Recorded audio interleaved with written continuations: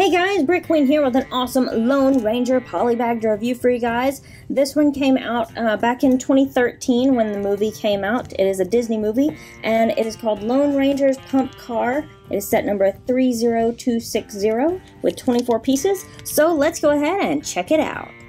So here is the Lone Ranger polybag and here is the Lone Ranger himself of course.